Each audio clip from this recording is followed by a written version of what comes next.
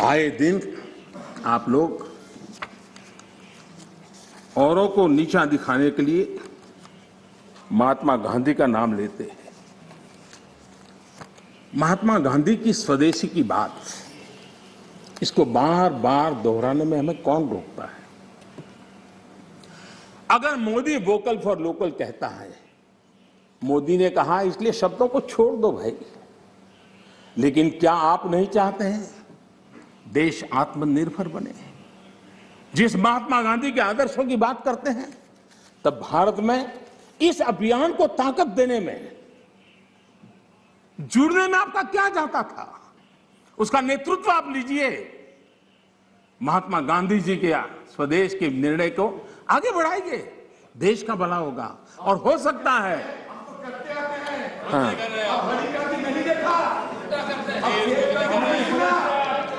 आप महात्मा गांधी के सपनों को सच होते देखना नहीं चाहते।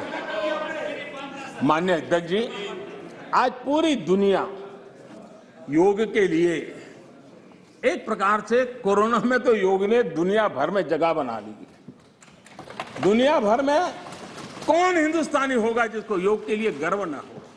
आपने उसका भी मज़ाक उड़ाया, उसका भी विरोध किया अच्छा होता आप लोगों को कहते भाई, संकट में, घर में है, ये योगा कीजिए, आपको फ़ायदा होगा। क्या नुकसान था? फिट इंडिया मूवमेंट चले। देश का नौजवान सशक्त हो, सामर्थ्यवान हो, आपको मोदी से विरोध हो सकता है। फिट इंडिया मूवमेंट, आपके राजनीतिक दलों के छोटे छोटे युवा मंच होते हैं। अगर हम सबने मिलकर के, अगर इस फिट इंडिया के द्वारा देश की युवा शक्ति को, इस सामर्थ्य की तरफ़ आगे बढ़ने के लिए कहते लेकिन उसका भी विरोध, उसका भी उपहास। यानी क्या हो गया है? आपको मुझे समझ नहीं आ रहा है।